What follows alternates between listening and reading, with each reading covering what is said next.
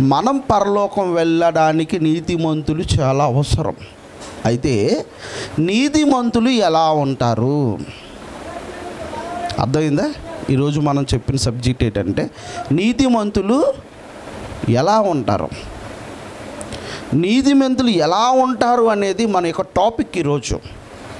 ఈ టాపిక్ని మూడు నాలుగు దపాలుగా చెప్తాను. ఇప్పుడు మనం నీతిమంతుని ఐడెంటిఫికేషన్ చేయాలి. ఎవరు నీతిమంతులు? అర్థమవుతుందా? ఎవరు నీతిమంతులు? అన్న విషయం మీద మనం మాట్లాడుకోబోచున్నాం. అన్న విషయం మీద మనం మరి పరిశీలించబోతున్నాం. బైబిల్లో ప్రియమైన వాళ్ళరా ఏ విషయాన్ని చెప్పాలన్నా సాదృశ్యాలతో చెప్పాడు. కొన్ని సాదృశ్యాలు చూపించాడు.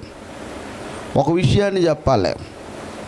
ఈ విషయం చెప్పాలంటే సాదృశ్యంగా చెప్పించారు మనకు తెలుసు చిన్నపిల్లలకు కూడా పాఠాలు చెప్తారు. అమ్మ అమ్మను పరిచయం చేయడానికి అమ్మ చిన్నప్పటి నుంచి పరిచయం కనుక.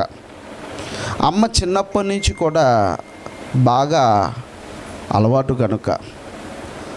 ఒరే మీ అమ్మ అన్న మీ అమ్మ ఎదుగోరా అన్నాం మనకు సపోజ్. టక్మని వాడు ఏం చేస్తాడో చేతులు చాపుతాడు పసిపిల్లోడైనా సరే. అమ్మ బా పరిచయం కనుక అక్షరాలు నేర్పించడానికి ఏం చేస్తారో? అమ్మని సాదృశ్యంగా చూపించి ఆ అమ్మ అని స్టార్ట్ చేస్తారు. కదా? అలాగే దేవుడు కూడా కొన్ని పాఠాలు చెప్పడానికి సాదృశ్యాలను చూపించాడు. ఈ సాదృశ్యాలలో యేసుక్రీస్తుని పరిచయం చేయడానికి కొన్ని సాదృశ్యాలను కూడా చూపించాడు. ఉపమాన రూపంలో కూడా బోధించటం జరిగింది. యేసుక్రీస్తుని జ్ఞాపకం చేయడానికి గొర్రె పిల్లను జ్ఞాపకం చేశాడు. యేసుక్రీస్తు ప్రభులు వారిని పరిచయం చేయడానికి యోధా గోత్రపు సింహం అన్నాడు. అంటే యోధ యోధా గోత్రములో సింహము లాంటి వాడు యేసుక్రీస్తు ప్రభులు వారు అని పరిచయం చేశాడు. ఇక యేసుక్రీస్తుకు సాదృశ్యంగా కొన్ని జీవులను కూడా చూపించాడు కోడిని చూపించాడు. కోడిని ఎలా చూపించడం అంటే కోడే తన పిల్లల్ని రెక్కల కిందకి ఎలా చేర్చుకునో కోడి రెక్కల కింద కోడి పిల్లలకి ఏముంది? రక్షణ ఉంది. యేసుక్రీస్తు చల్లని నీడలో మనకేముంది? రక్షణ ఉంది. అంటే ఒక కోడి చూపించారు అలాగే పక్షిరాజును చూపించాడు. పక్షిరాజు నూతన యవనమును గురించి మాట్లాడుతూ పక్షిరాజును పోలుస్తూ కూడా యేసుక్రీస్తు ప్రభులు వారిని చెప్పాడు. పావురాన్ని కూడా జీవించాడు. పావురానికి ఉన్నటువంటి మనసు ఏంటంటే నిష్కల్మషమైన మనసు. ఇలా యేసుక్రీస్తు వారి ప్రభులు వారిని మనకు పరిచయం చేయడం జరిగింది. అలాగే వృక్షాలను కూడా చూపిస్తూ యేసుక్రీస్తు ప్రభులు వారిని పరిచయం చేశాడు. కొన్ని వృక్షాలను కూడా చూపించాడు ప్రియమైన వాళ్ళారా? నీతిమంతుడైన యేసుక్రీస్తు ప్రభు వారిని పరిచయం చేయడానికి. అర్థమవుతుందా? అందులో మనకు తెలిసినటువంటి కొన్ని వృక్షాలు ఏంటంటే ద్రాక్ష చెట్టు. ద్రాక్ష చెట్టులో మంచి మధురమైన రసాన్ని ఇస్తుంది. అలాగే అంజూరపు చెట్టు. అలాగే మనకి ఒలివల చెట్టు. అలాగే మనకి ఖర్జూరపు చెట్టు. అలాగే మనకి దేవదారు చెట్టు. అంటే మనకు పరిచేయడానికి సాదృశ్యముగా కొన్ని వృక్షాలను ఇవన్నీ ఎవరిని పోలుస్తూ చెప్పుకొచ్చాడు? యేసుక్రీస్తు ప్రభులు వారిని పోలుస్తూ చెప్పుకొచ్చారు. అర్థమవుతుందా? మరి దానికి యేసుక్రీస్తు ప్రభులు వారి యొక్క ఈ యొక్క వృక్షాలకు నీతిమంతులకి ఏడు సంబంధం అంటే ఒక చెట్టును పోలుస్తూ నీతిమంతులు ఇలా ఉంటారు. నీతిమంతులు మీరు ఎలాగ ఐడెంటిఫికేషన్ చేయొచ్చు? నీతిమంతులు ఈ విధంగా ఉంటారు అని ఒక చెట్టును చూపిస్తూ దేవుడు మనకి పరిచయం చేశాడు.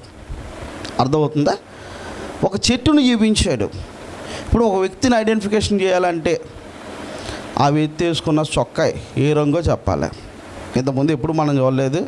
బస్ స్టాప్లోకి వస్తానన్నాడు బస్ స్టాప్లోకి వస్తానన్నప్పుడు ఆ వ్యక్తి ఎలా ఉంటాడండి అంటే తెల్లగా ఉంటాడండి పొడుగ్గా ఉంటాడండి. ఆరు అడుగులు ఉంటాడండి.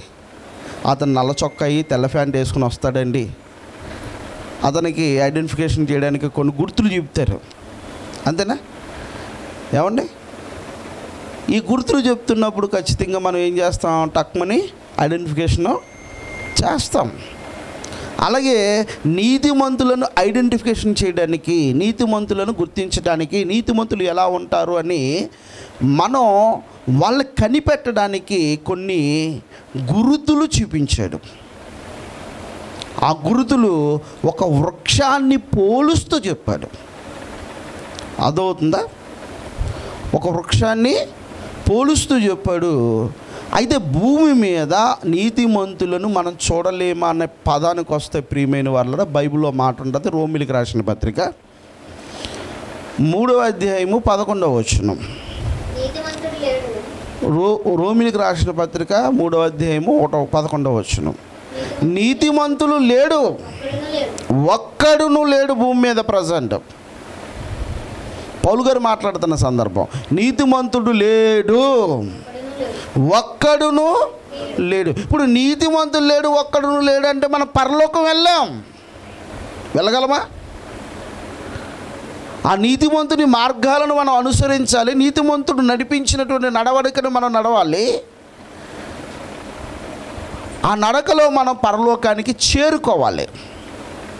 అర్థమైందా? మనకు వాక్యాన్ని బోధించేటువంటి వ్యక్తి నీతిమంతుడై ఉండాలి. మనల్ని పరలోకానికి నడిపించేటువంటి వ్యక్తి పర నీతిమంతుడై ఉండాలి. అతను అనుసరించినటువంటి అనుసరులు మనం పరలోకానికి చేరుకోవాలి. బైబిల్ నిర్ఘాండంగా చెప్తుంది నీతిమంతుడు లేడు ఒక్కడును లేడు. ఒక్కడును లేడు. లేకపోతే ఎలాగండి ఇప్పుడు? నీతిమంతుడు అనేవాడు భూమి మీద లేకపోతే మనం పరలోకం వెళ్ళేది ఎలా? మనం పరలోకం వెళ్ళాం అయితే బైబిల్ చెబుతూ చెబుతూ మంచి మాట ఒకటి మనకు ఉపశమనం కలిగి ఒక మాట చెప్తుంది చూద్దాం. రోమిలికి రాసిన పత్రిక ఐదవ అధ్యాయము ఒకటో వచ్చును రోమ పత్రిక ఐదవ అధ్యాయము ఒకటో వచ్చును కాబట్టి విశ్వాసము మూలమున మనము మనము మనము దేని మూలమున మనం నీతిమంతులుగా తీర్చబడుచున్నాము? దేని మూలముగా నీతిమంతులుగా తీర్చబడుచున్నాము? మనమైతే నీతిమంతులము కాదు. మనమైతే నీతిమంతులము కాదు. మనకు మనం నీతిమంతులుగా మనం మార్చుకోలేదు. అవునా? మనకు మనం నీతిమంతులు కాదు. కానీ యేసుక్రీస్తు కృప వలన యేసుక్రీస్తు కృప వలన ఆయన పరిశుద్ధమైన ఆయన పవిత్రమైన నిష్కలంకమైనటువంటి ఆ రక్తము వలన అమూల్యమైన రక్తము వలన మనలను ఆయన కడిగి ఆయన మనల్ని కడిగి ఆయన మనల్ని శుద్ధులను చేసి పరిశుద్ధులను చేసి ఆయన మీద విశ్వాసము మనకు రప్పించి మనల్ని నీతిమంతులుగా ఆయన తీర్చాడు. అర్థమవుతుందా? మనం ఎలా నీతిమంతులమయ్యాము? మనం ఎలా నీతిమంతులమయ్యాము? విశ్వాసము వలన నీతిమంతులమయ్యాము. అబ్రహాము దేవుని నమ్మాను. అది అతనికి నీతిగా ఎంచబడిను. అది నీతిగా ఎంచబడెను అన్నాడు. మనం యేసుక్రీస్తుని నమ్మము.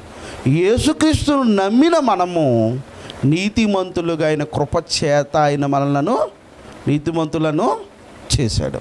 అంటే విశ్వాసము ద్వారానే కృప ద్వారానే మనం నీతిమంతులు అయ్యాం తప్ప మనం చేసేటువంటి క్రియల వలన మనం నీతిమంతులము కాదు.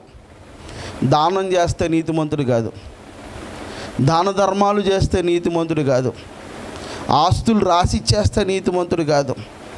అంతస్తులు రాసిచ్చేస్తే నీతిమంతుడు కాదు. నీతిమంతుడు ఎలా ఉంటాడు? అని పాఠంలో యేసుక్రీస్తును నమ్మడమే నీతి. యేసుప్రభు వారిని నమ్మడమే నీతి. నా ఆత్మను ఆయన రక్షణలోకి తీసుకొస్తాడు. నా ఆత్మను ఆయన ఏం చేస్తాడో? పరలోకానికి నడిపిస్తాడు. నేను మరణించిన తర్వాత నా ఆత్మ పాతాళమని అగ్నిగుండంలోనికి వెళ్ళకుండా నన్ను నెమ్మది పొందు పర పరదేశకు తీసుకువెళ్ళి అక్కడ నన్ను సంరక్షిస్తాడనేటువంటి నమ్మకం ఏదైతే ఉందో ఆ నమ్మకమే నీతి. అర్థమవుతుందా? ఏమండి? ఆ నమ్మకమే నీది. ఆ నమ్మకముతోనే భూమి మీద మనం జీవితాన్ని జీవిస్తున్నాం. అర్థమవుతుంది కదా? రైట్. ఇప్పుడు ఆ నమ్మకమును గూర్చి మాట్లాడుతూ యేసుక్రీస్తు ప్రభులు వారు తన స్వరక్తం ఇచ్చి మనల్ని సంపాదించి మనల్ని ఎక్కడ నాటాడంటే చూడండి కీర్తల గ్రంథము తొంభై రెండవ కీర్తన. పదమూడవ వచ్చినని చూద్దాం. కీర్తనలు తొంభై మూడు పదమూడు. తొంభై రెండు పదమూడు.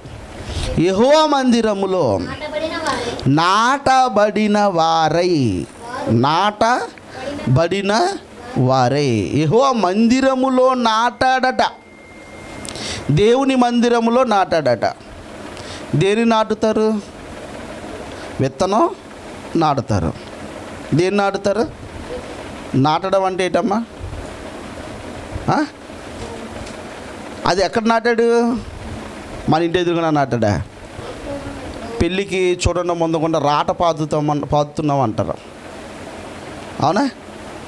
రాట పాతున్నాం అంటారు అవునా? ఆ పాతడం కాదు. మన ఇంటి ఎదురుగుండా చిన్న మొక్క నాటుతాం.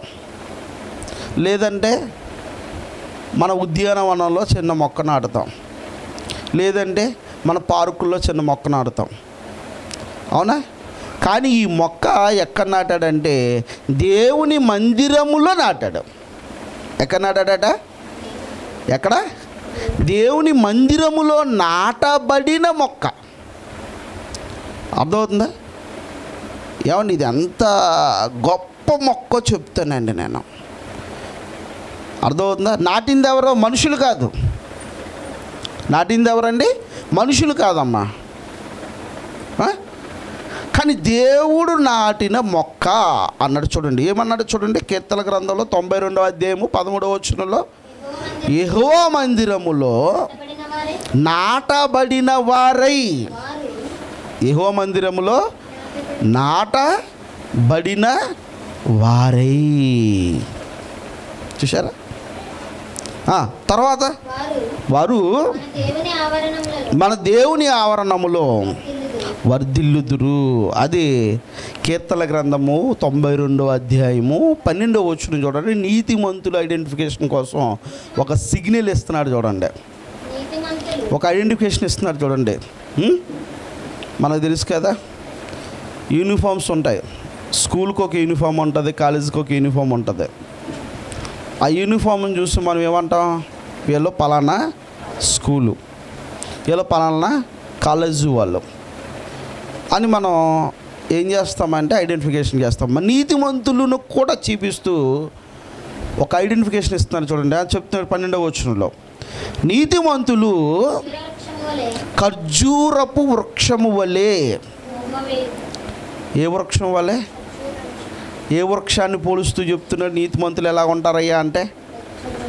ఏ విధంగా చెప్తున్నాడు? నీతిమంతులు ఖజ్జూరపు వృక్షము వలె మువ్వు వెయ్యుదురు చూసారా ఎంత అద్భుతమైన ఐడెంటిఫికేషన్ ఇచ్చాడు. అంటే ఖర్జూరపు వృక్షాన్ని పోలుస్తూ చెప్తున్నాడు. దేని పోలుస్తూ చెప్తున్నాడు? ఖర్జూరపు వృక్షాన్ని పోలుస్తూ నీతిమంతులు ఎలా ఉంటారో? చెట్లలో చెట్లలో చెట్లలో ఎన్నో చెట్లు ఉన్నాయి ఈత చెట్టు ఉంది? ఉందా ఈత చెట్టు ఉంది సరళ వృక్షం ఉంది తామర వృక్షం ఉంది ఎన్ని చెట్లు ఉన్నాయి కొన్ని లక్షల రకాల చెట్లు ఉన్నాయి ఇన్ని చెట్లలో ఖర్జూరపు చెట్టును ఒకసారి చూడండి. నీతిమంతులు ఎలాగ ఉంటారంటే ఖర్జూరపు చెట్టు వలె ఉంటారు. ఒక రహస్యం చెప్పిన? ఖర్జూరపు చట్నీ ఈత చట్నీ. ఖర్జూరపు చట్నీ ఈత చట్నీ. ఒక్కసారి రెండు పటాలు కూడా పక్క పక్కన పెట్టి చూడండి. ఖర్జూరపు చట్నీ ఈత చట్నీ రెండు కూడా పక్క పక్కన పెట్టుకుని చూసాం అనుకోండి ఏది ఖర్జూరపు చెట్టో ఏది ఈత చెట్టో తెలియదండి. పోల్చుకోలేం. ఖర్జూరపు ఆకులు ఈత చెట్టు ఆకులు ఒకేలాగా ఉంటాయి. ఖర్జూరపు కాండము ఈత చెట్టు కాండము ఒకేలాగా ఉంటుంది. అలాగే ఖర్జూరపు బెరడు దాని మొద్దు దాని వేర్లు ఈత చెట్టు బెరడు ఈత చెట్టు వేర్లు ఈత చెట్టుకు సంబంధించినవి అన్నీ ఒకే సేమ్ టు సేమ్ అచ్చు గుద్దినట్లుగా ఉంటాయి. అర్థమవుతుందా? రెండు ఒకేలాగా ఉంటాయి. రెండు ఒకేలాగా ఉంటాయి. ఏది ఈత చెట్టో ఏది ఖర్జూరపు చెట్టో తెలియదు దానికి ఐడెంటిఫికేషన్ చేయాలి ఇప్పుడు మనం. అర్థమవుతుందా? ఖర్జూరపు చెట్టు అనుకుని ఈత చెట్టు దగ్గరికి వెళ్ళాం అనుకో.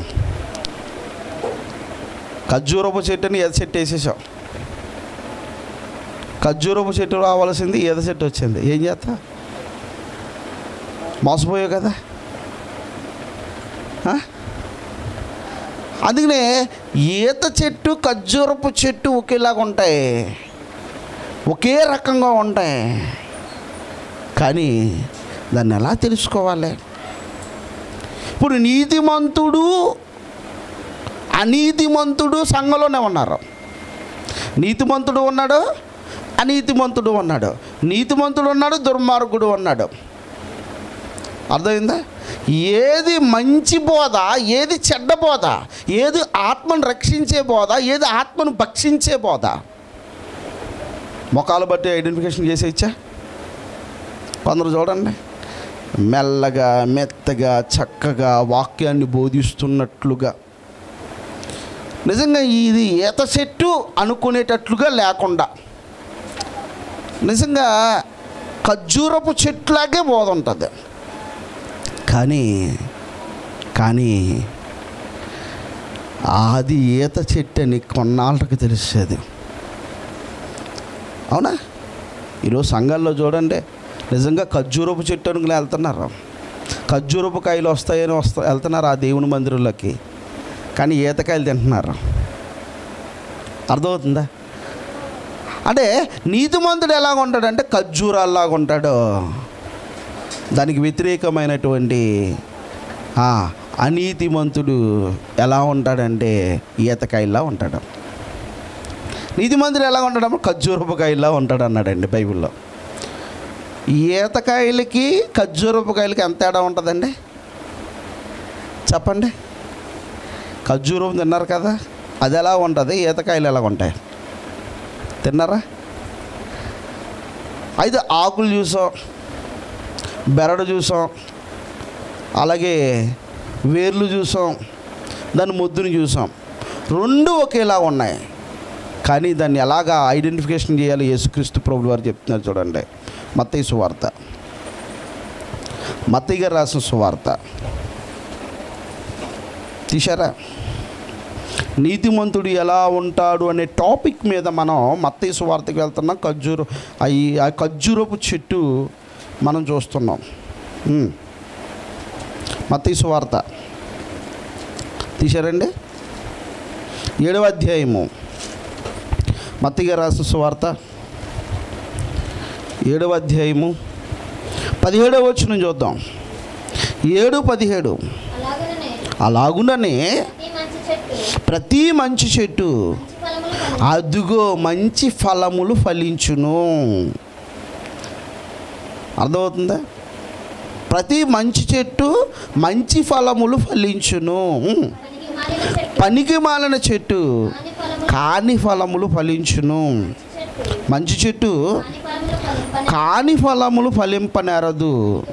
పనికి మాలిన చెట్టు మంచి ఫలములు ఫలింపనేరదు. మంచి ఫలములు ఫలింపని ప్రతి చెట్టు నరకబడి అగ్నిలో పడును. ఈ పదాన్ని చెప్పి మనకి డిఫరెంట్ చెప్తున్నాను ఇరవై వచనంలో చూడండి. కాబట్టి మీరు వారి ఫలముల వలన వారు తెలుసుకొందురు. అంటే నీతిమంతులు ఎవరు అనే టాపిక్లోకి వచ్చేసరికి వారి ఫలముల వలన వారిని మీరు తెలుసుకొందురు. వారి ఫలముల వలన వారిని తెలుసుకొందురు అని యేసుక్రీస్తు ప్రభు వారు చెప్తూ అంటున్నాడు మంచి చెట్టు మంచి ఫలాలు ఇస్తుంది. చెడ్డ చెట్టు చెడ్డ ఫలాలు ఇస్తుంది. అది ఏ చెట్టో తెలుసుకోవాలి అంటే వాటి ఫలాల వల్లనే తెలుసుకోగలం అవునా? వాటి ఫలాల వల్లే తెలుసుకోగలం ఈత చెట్టు? ఖర్జూరపు చెట్టు ఉంది. ఇప్పుడు ఈత చెట్టు ఖర్జూరపు చెట్టు ఫలాలు పూసినాయి. ఈతకాయలు ఎలా ఉన్నాయో తెలుస్తుంది మనకి. ఈతకాయలు ఎలాగ ఉన్నాయో తెలుస్తుందా లేదా? మరి ఖర్జూరపు కాయలు ఎలా ఉన్నాయో తెలుస్తుంది లేదా? వాటి వలన ఇది ఖర్జూరపు చెట్టు. ఈతకాయల వలన ఇది పనికి మాలిన చెట్టు ఈత చెట్టు అనొచ్చు ఈత చెట్టులో ఉన్న బ్యాడ్ ఏంటంటే ప్రియమైన వాళ్ళరా ఈత కళ్ళు వస్తుంది ఏమొస్తుంది? ఏమొస్తుంది? ఈత చెట్టులో నుంచి ఏమొస్తుంది? అందుకని పనికి మాలిన చెట్టు అన్నాడు. అది మనుషులను పోలుస్తూ చెప్తున్నాడు అక్కడ శాస్త్రులు పోలుస్తూ చెప్తున్నాడు పరిశీలన పోలుస్తూ చెప్తున్నాడు బోధకులను చూసి పో చెప్తున్నాడు. పనికి మాలిన చెట్టు అన్నాడు. అంటే ఈత చెట్టును జీవిస్తూ మనం ఈరోజు పనికి మాలిన చెట్టు వీళ్ళు పనికి మాలిన వాళ్ళు నీతిమంతుడు కాదు నీతిమంతుడు లేడు ఒక్కడును లేడు అందరూ పాపము చేసి దేవుడు అనుగ్రహించి మహిమ పొందలేకపోవచ్చున్నారు. ఇదిగో ఈ పనికి మాలిన చెట్లు.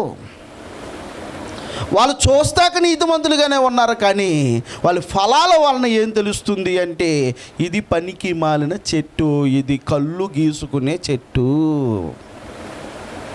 కళ్ళు ఏం చేస్తుంది? జనులను మత్తులోనికి ముంచేస్తుంది. అందుకని పెద్దలు అన్నారు ధనం దగ ఏంటమ్మా? ఏంటమ్మా? ధనం దగ మనిషి మాయ. మతం మత్తు. మతం ఏంటి మత్తు. పనికి మాలిన చెట్టు నుండి వచ్చేటువంటి ఫలాల వలన మత్తులోకి వెళ్ళిపోతుంది లోకం. మత్తు. అర్థమైందా? ఈ ఆత్మీయ ఆహారం అనేది మనిషిని మత్తులో నుండి బయటికి తీసుకొచ్చేది వాక్యమైతే మత్తులోకి తీసుకువెళ్ళిపోయేది ఈ పనికి మాలిన బోధలు ఒకనొక సమయంలో యేసుప్రభు అంటారు శాస్తుల కోసం పరిచయల కోసం మీరు జాగ్రత్తగా ఉండండి. ఎందుకంటే వాళ్ళు పులిసిన పిండిని వాళ్ళు వండుతారు పులిసిపోయింది దానివలన మీ శరీరంలో ఆల్కహాల్ అనేవి పెరిగిపోతాయి. దానివలన పొలవటం వలన ఏమవుతారంటే మత్తులోకి మీరు వెళ్ళిపోతారో అని చెప్తాడు యేసుక్రీస్తు ప్రభులు వారు. అర్థమైందా? తాటి చెట్టు వల్ల ఏమొస్తుంది? కళ్ళు వస్తుంది మత్తులోకి వెళ్ళిపోతున్నారు సమాజం. అర్థమవుతుందా? ఈ మత్తులోకి వెళ్ళిపోయేటువంటి పనికిమాల చెట్టు కోసం చెప్తున్నాడు. మళ్ళీ చదవండి ఒకసారి. అక్కడ చెప్తున్నటువంటి మాట. మత్తైసు వార్త ఏడవ అధ్యాయము అలాగుననే.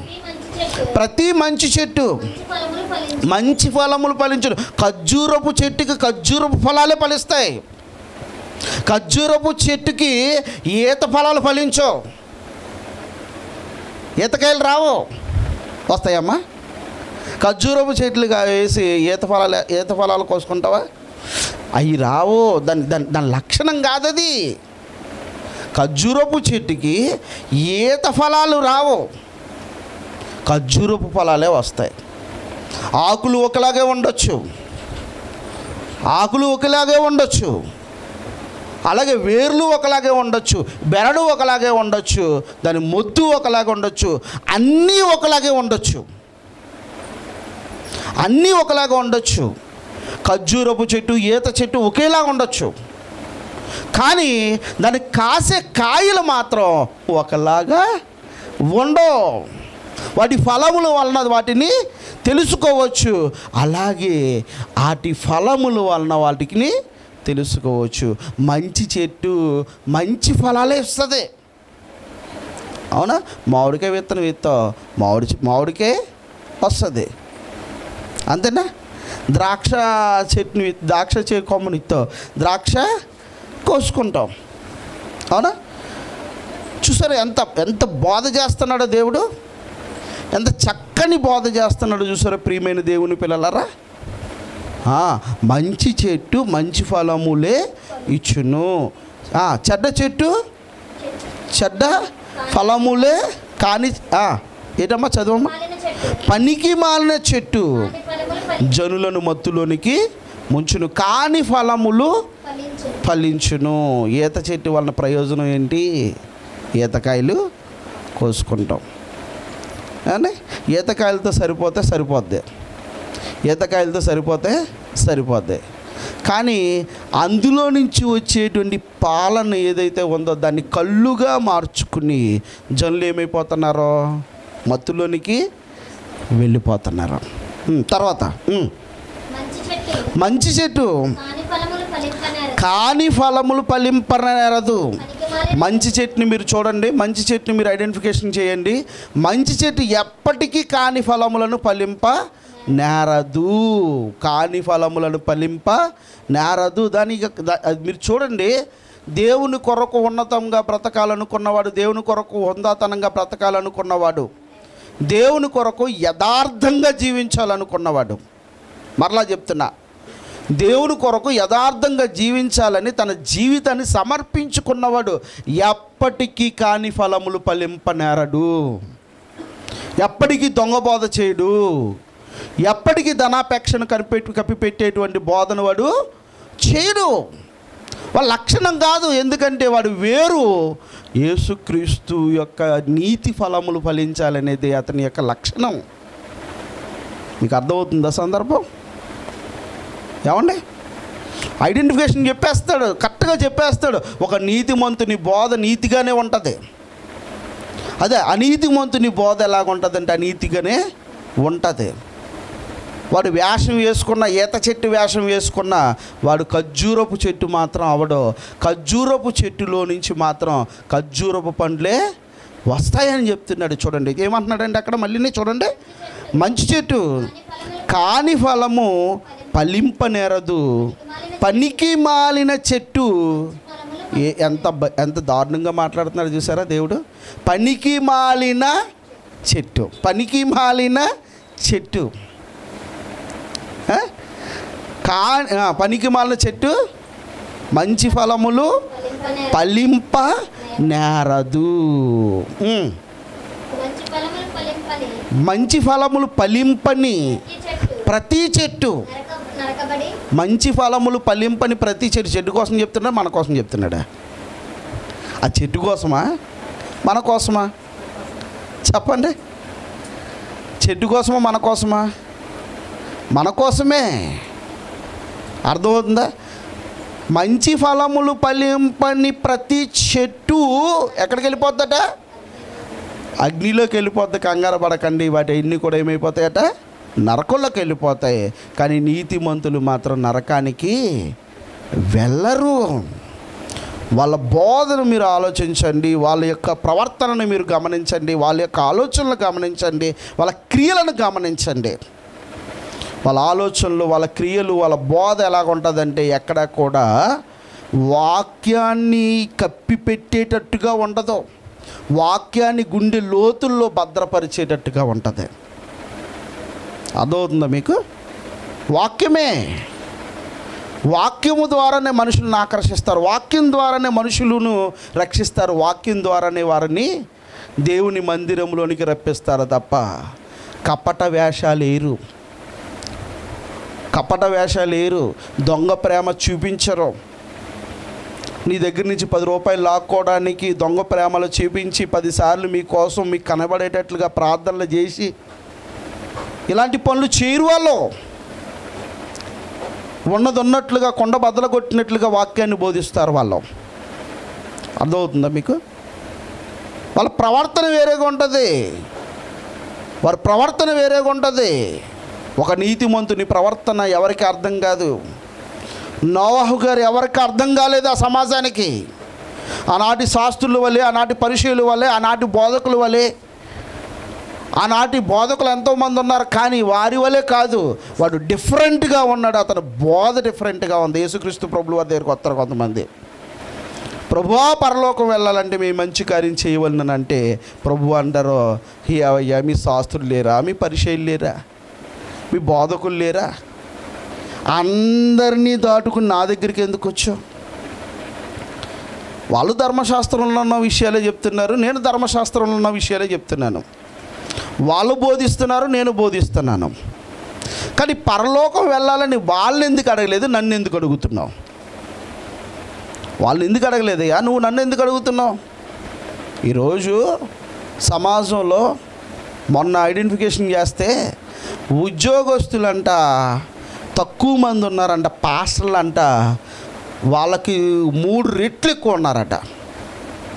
అంటే పాస్టర్ గారికి ఐదు వేల రూపాయలు నెలకు వచ్చేసరికి లేకపోతే సంవత్సరానికి ఐదు వేల రూపాయలు గౌరవ వేతనంగా మన ముఖ్యమంత్రి గారి వేస్తాకి ఐడెంటిఫికేషన్ చేసినప్పుడు అప్లికేషన్లు తెచ్చుకోమంటే గవర్నమెంట్ ఉద్యోగస్తులను కంటే మూడు రెట్లు ఎక్కువ ఉన్నారంట పాస్టర్లో.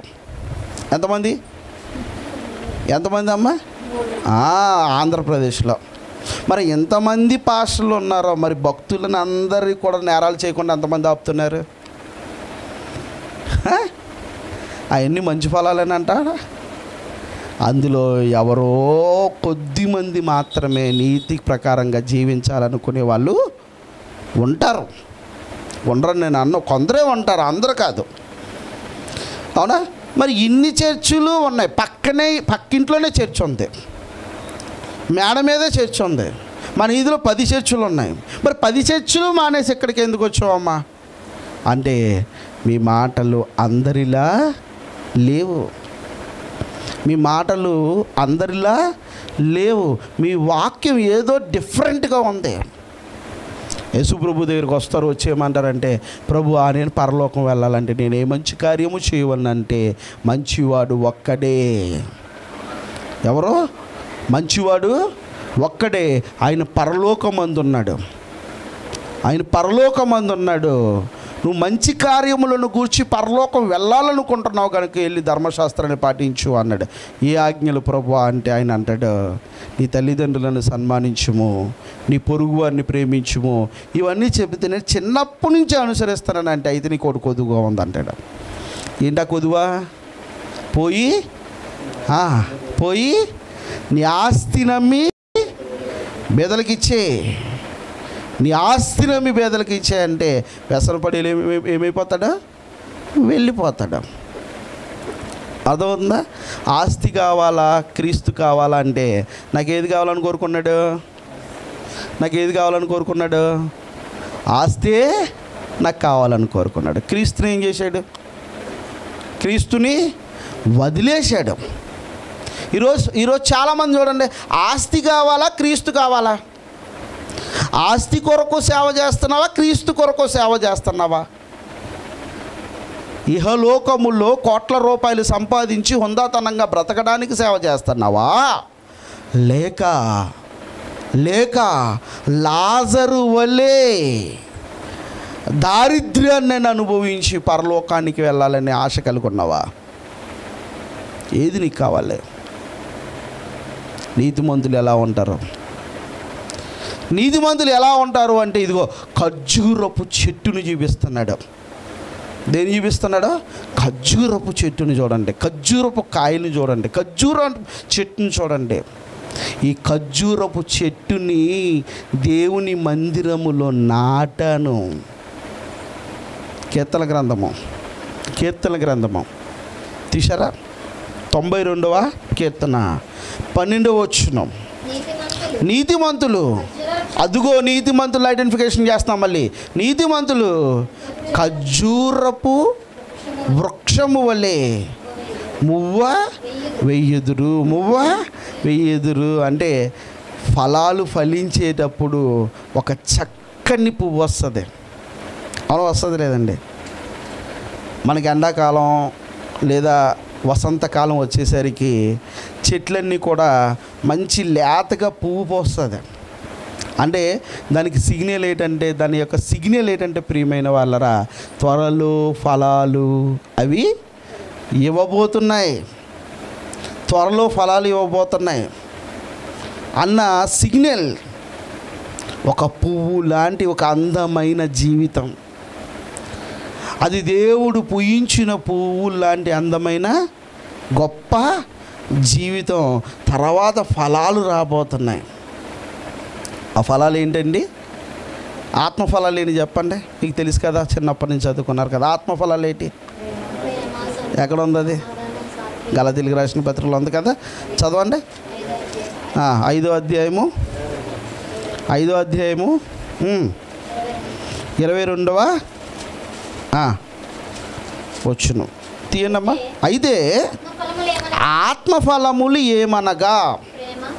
ఖర్జూరపు ఫలములు. ఖర్జూరపు ఫలం ఎలాగుంటుంది? ఖర్జూరం ఎలాగుంటుందండి? ఎంత బాగుంటుందండి ఖర్జూరం. ఇందా చెప్పానా? ఈతకాయలు ఉన్నాయి. ఈతకాయలు ఖర్జూరపు కాయలు రెండు పక్క పక్కన పెట్టండి. ఖర్జూరపు కాయని తినండి. ఈతకాయని తినండి. ఏది బాగుంటుందండి? ఏది బాగుంటుంది? మనిషిగా నువ్వు రుచి చూస్తున్నప్పుడు ఈతకాయ రుచి తెలుసు ఖర్జూరపకాయ తెలుసు. ఈ రెండిట్లో ఏది బాగుంది దేనికి మార్కులు వేస్తున్నారని అన్నారనుకో అన్నారు అనుకో మిమ్మల్ని జడ్జిలో కూర్చోబెట్టి. దేనికి వేస్తారు? ఖర్జూరపు? ఫలానికే మీరు వేస్తారు. ఏమండి? నీతిమంతుణ్ణి అలాగే వేషం వేసుకున్నాను పక్కన కూర్చోబెడితే దేవునికి ఏది తీపిగా ఉంటుందట? ఏది ఖర్జూరపు కైలా ఉంటుందట? ఏది ఖర్జూరపు కైలా ఉంటుంది?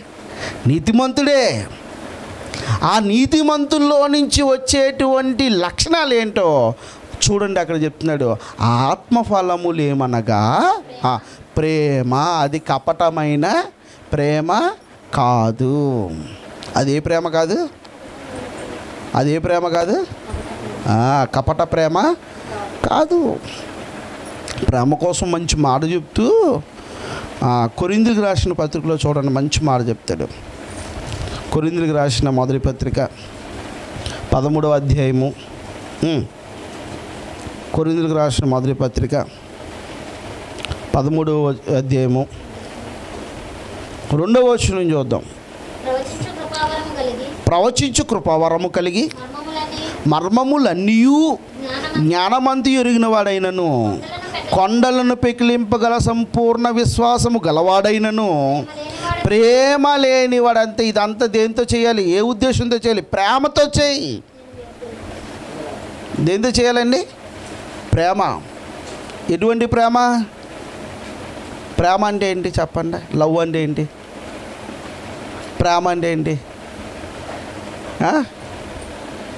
మనోళ్ళు యవనస్తులు అంటారు కదా ప్రేమలో పడ్డావా? పేల్లో పడ్డావా అన్నట్లుగా. అసలు ప్రేమ అంటే ఏంటి? మళ్ళీ ఆ టాపిక్లోకి వెళ్ళామనుకో ఎక్కడికి వెళ్తుంది మొదటి యోహాను పత్రిక. మొదటి యోహాను పత్రిక.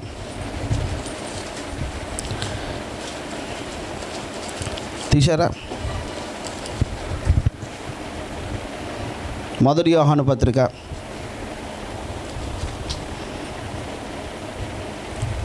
మూడో అధ్యాయము.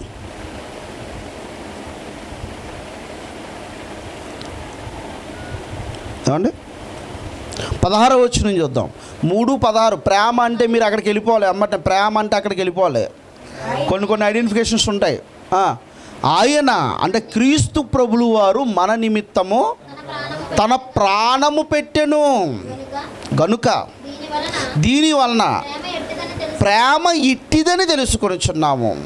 అంటే భూమి మీద అన్నిటికంటే విలువైనది ఏంటి అన్నిటికంటే విలువైనది ప్రాణం. అన్నిటికంటే విలువైనది ఏంటి ప్రాణం. అర్థమవుతుందా? ఏమండి? తన ధనంలో నుంచి కొన్ని కోట్ల రూపాయలు ఉన్నాయనుకోండి కోట్ల రూపాయలు ఉన్నాయనుకోండి కోట్ల రూపాయల నుంచి పది లక్షలు తీసుకొచ్చి ఇచ్చేసాడు. ఏమండి? ఇంకా ధనం ఉంది అతనికి. ధనము కంటే విలువైనది ప్రాణం. ప్రాణం నిలబెట్టుకోవడానికి ఏం చేస్తారు? ఉన్నదంతా ఇచ్చేస్తారు. అంటే ప్రాణము కోసం ధనానంతా ఇచ్చేస్తారు. కానీ ధనము కంటే లోకము కంటే భూమి మీద అన్నిటికంటే విలువైనది ప్రాణం. అర్థమైందా? ఆ ప్రాణం ఇస్తేనే ప్రేమ. ప్రేమ అంటే అది. ప్రాణం ఇచ్చేదే కానీ ప్రాణం తీసేది కాదు. తనకు దక్కలేదని మరొక పెళ్ళి చేసుకుందని రహస్యంగా వెళ్ళి స్కూల్లోనో కాలేజీలోనో వెళ్తే రహస్యంగా వెళ్ళి ఆమె పీక నరికేసి ఐఎమ్ లవ్ లవ్ లవ్ అని పోతున్నాడంట. అది లవ్ కాదురా అది దరిద్రుడా. దాన్ని ఏమంటారో తెలుసా? సైకో అంటారు దాన్ని. సైకో. చూసారా ప్రేమ అంటే ప్రాణం పెట్టేది. ప్రేమ అంటే ప్రాణం సహితం ఇచ్చేది. ఒక ఆత్మ స్థితిని నిలబెట్టడానికి ఒక ఆత్మీయ జీవితాన్ని నిలబెట్టడానికి ప్రాణాలను సైతం ఇచ్చేస్తుంది. అర్థమైందా? అపోస్తులండి అపోస్తులు ఏం చేశారో తెలుసా? నలుగు ఆత్మలు రక్షించటానికని పూనుకున్నప్పుడు వాళ్ళు ఏం చేశారో తెలుసా? వారు చెర చిరాస్తులను అమ్మేశారటండి. అమ్మేసి ఎవరి పాదాల దగ్గర పెట్టారు? అపోస్తులు పాదాలు ఎదురు పెట్టేశారట. పెట్టేసి అంటున్నారు ఈ ధనముతో పది ఆత్మలు రక్షించండి. చూసారా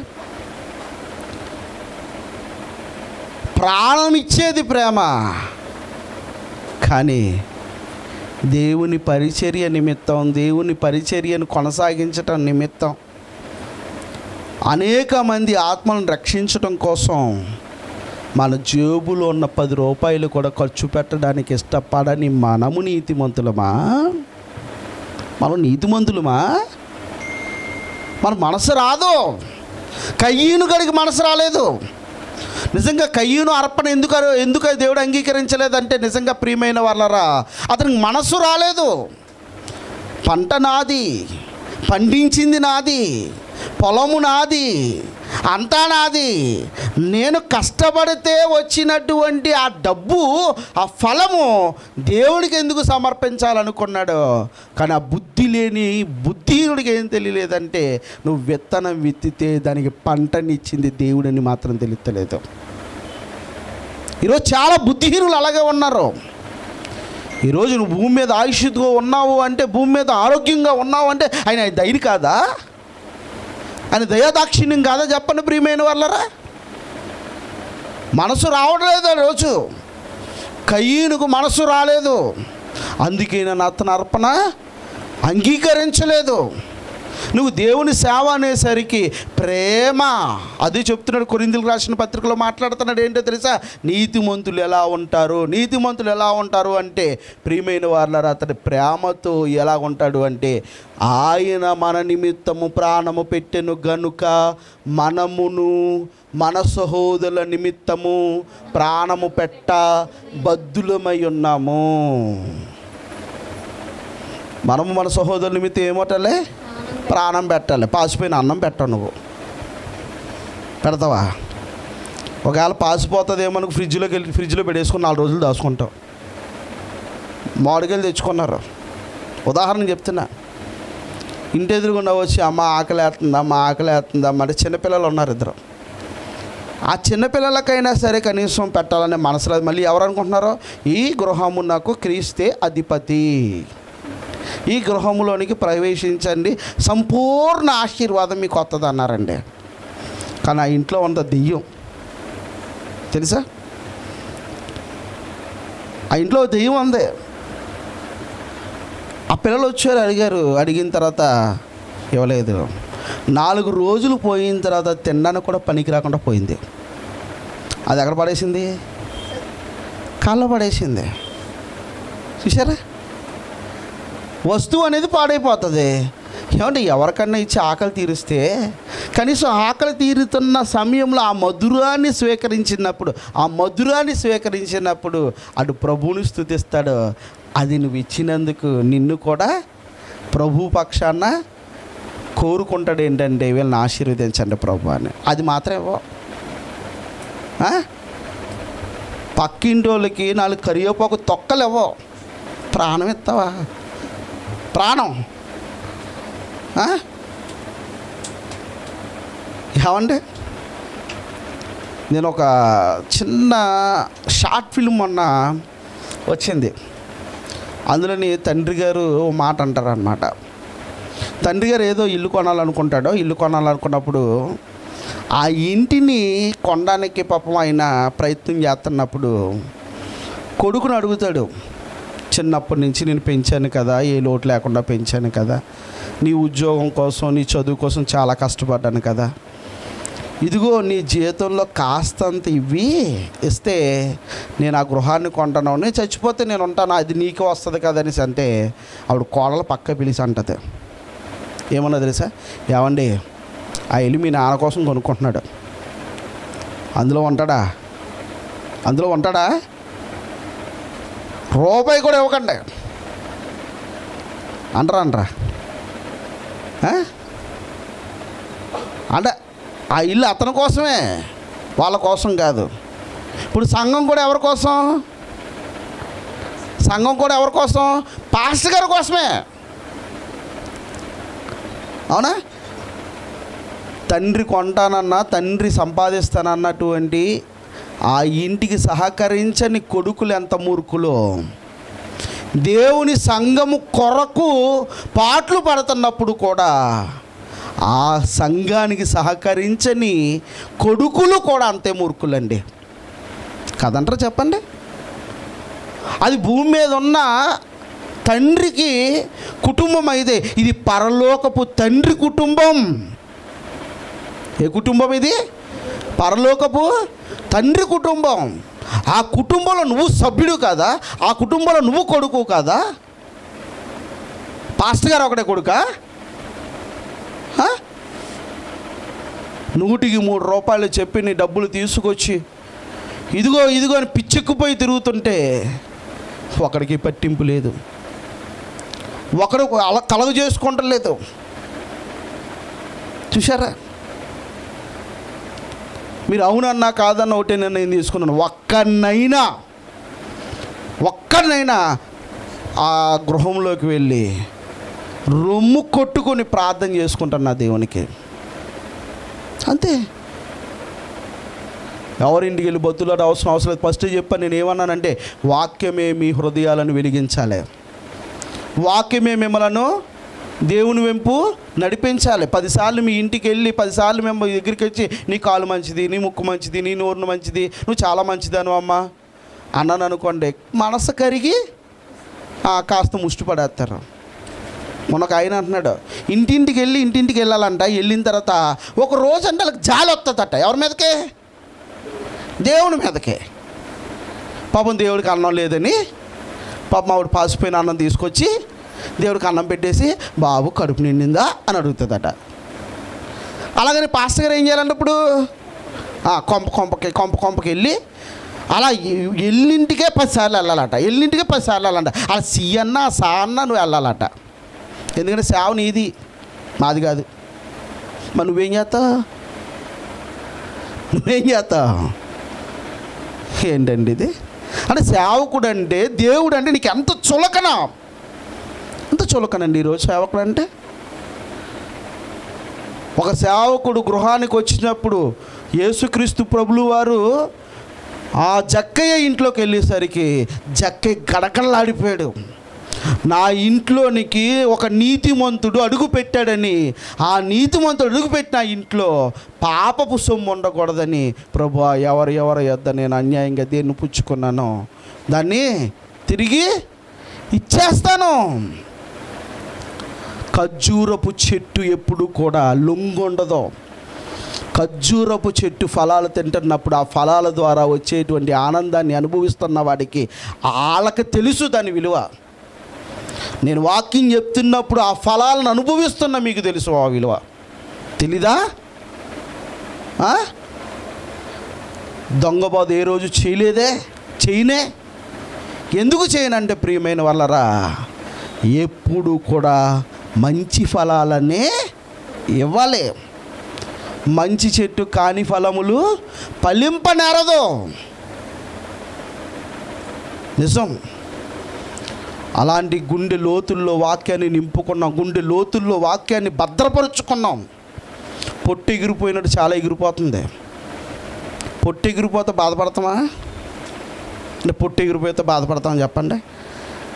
అమ్మో పొట్టు ఎగిరిపోతుంది. నూకలు పోతున్నాయి. శుభ్రంగా సేట పట్టుకొని బియ్యాన్ని తీసుకొచ్చి బెడ్లు ఏరేస్తారు కదా. బెడ్లు ఏరేస్తారా? అలా బెడ్లు ఏరేస్తారు. అమ్మో బెడ్లు పోతున్నాయి. బెడ్లు పోతే బాధపడతారా? గింజలు పోతే బాధపడతారా? ఆహా, నేను అడుగుతున్నా. బెడ్లు పోతే బాధపడతారా? గింజలు పోతే బాధపడతారా? గింజలు పోతే బాధపడతారు. ఒరే దౌర్భాగ్యులరా ఈత పండ్లు తిని అదే గొప్ప రుచి అనుకోకండి. ఖర్జూరపు చెట్టు ఉంది. ఆ ఖర్జూరపు చెట్టుని నాటింది దేవుడు. దేవుని మందిరంలో నాటినటువంటి ఖర్జూరపు చెట్టు వల్లే నీతిమంతులు ఉంటారో నీతిమంతులు ఎలా ఉంటారు? ఎలా ఉంటారు? ప్రియమైన దేవుని పిల్లలరా మంచి ఫ మంచి చెట్టు కాని ఫలములు పలింప నేరదు. అది ఎన్ని సంవత్సరాలైనా? సుమారు పదిహేను సంవత్సరాలైనా. ఏమొస్తాయి? ఖర్జూరపుకాయలు వస్తాయి. అవునా? ఈతకాయలుగా మార్చేయబట్టే మార్చం. పనికిమాల సలహాలు ఇస్తున్నారు కొంతమంది. కొం ఇంటింటికి వెళ్ళాలండి ఇంటింటికి వెళ్ళాలండి ఇంటింటికి వెళ్ళాలి. వెళ్తాను. ఎప్పుడు? మీకు అనారోగ్యంగా బాగాలేనప్పుడు వెళ్ళి పలకరించవలసిన బాధ్యత నాది. అది తప్పు లేదు. మిమ్మల్ని బలపరచడానికి వెళ్ళొచ్చు. అవునా? మిమ్మల్ని బలపరచడానికి వెళ్ళొచ్చు. అంతేనా? మాకు ఈ బాధ వద్దు. మాకు ఈతకాయలే కావాలి. ఈతకాయలే కావాలి. అర్థమవుతుందా ఈత కళ్ళే కావాలి. ఆ ఈత కళ్ళు తాగేసి శుభ్రంగానే మత్తులో ఉంటాం మేము. అన్నప్పుడు ఈత కళ్ళు బాగా అలవాటైపోయినాడు ఇంటికంట పదిసార్లు వెళ్ళంట. వాళ్ళ మనసులోనంట వాళ్ళ మనసులోనంట ఏమవ్వాలట? నేనంట పదిసార్లు వెళ్తేనంట వాళ్ళ మనసులో ఏమనిపిస్తుంది అంట తెలుసా? అయ్యో పాస్టర్ గారు ఎన్ని సార్లు వస్తున్నారు కదా ఒక్కసారన్నా మన చర్చికి రావాలి అనిపిస్తుందట ఈత చెట్టు ఈత కళ్ళు తాగినోడికి. ఇక్కడికి వచ్చిన తర్వాత కళ్ళు ఉండదు కదా మరి. ఇక్కడ ఏముండదు?